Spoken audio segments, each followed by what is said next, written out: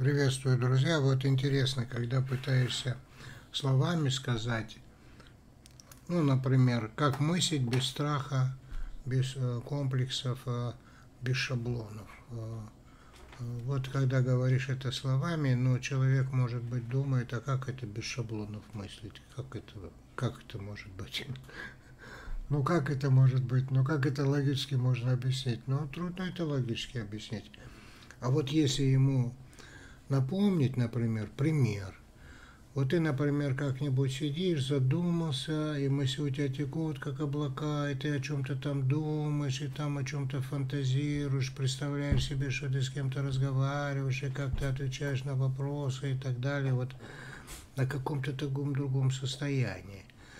И ты вдруг, оказывается, потом узнаешь, что там как раз у тебя и не было страхов и шаблонов. Ты как раз мыслил естественно для себя, свободно, да, обычно, когда ты нервничаешь, у тебя сразу напряжение повышается, и ты начинаешь думать, а какие слова правильно сказать, а какие примеры правильно. А вот то состояние другое, его логически невозможно объяснить. Это надо просто напомнить о при, примерах, которые вызовут эти ассоциации в памяти. И тогда понятно, что значит мыслить без страхов и шаблонов. И вот я хочу сказать, это на другом примере, например. Вот вы сидите и все понимаете, все знаете, как вы завтра будете говорить с кем-то. Вот без всяких шаблонов, представляете, что он вам скажет и как вы ответите. Да, ну, задумались вот так вот. А потом вдруг наступает этот момент, когда вы сидите перед ним, теперь надо вам говорить. И теперь вы напрягаетесь. Это то же самое, как перед э, камерой или фотоаппаратом. Вы, например, в очень хорошем расположении духа, в таком хорошем настроении, мысли свободны, вы такие свободные. В этот момент на вас наставляет камеру. И вы сразу вот так вот собираетесь и начинаете делать лицо. Естественно, мысли сразу улетают, э, как их собрать сейчас, э, как их собрать, и вот они говорят, будь естественный, но ну, сядь свободно. Ну, ты ж только сейчас сидел свободно. А что ты перед камерой сразу выстроился? Ну, сделай себя опять свободным. Улыбнись. И тебя начинают регулировать, чтобы ты стал опять свободным. А ты никак не можешь попасть. Ну, ты же был только пять минут назад свободный. Чего ты вдруг перед камерой так вдруг изменился?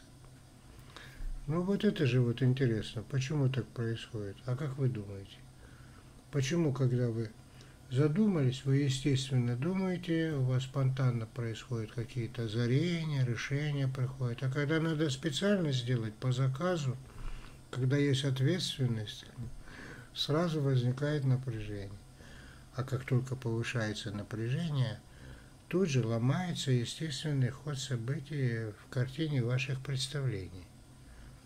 Ну как вы думаете, почему это происходит?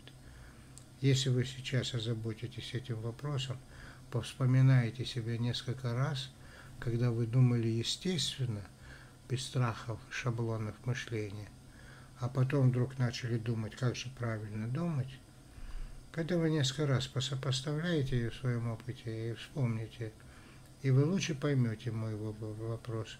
А сам этот процесс, а сам сейчас этот диалог между мной и вами поможет вам в большем количестве случаев – думать естественно, без страха и без шаблонов, то есть творчески. До встречи, друзья.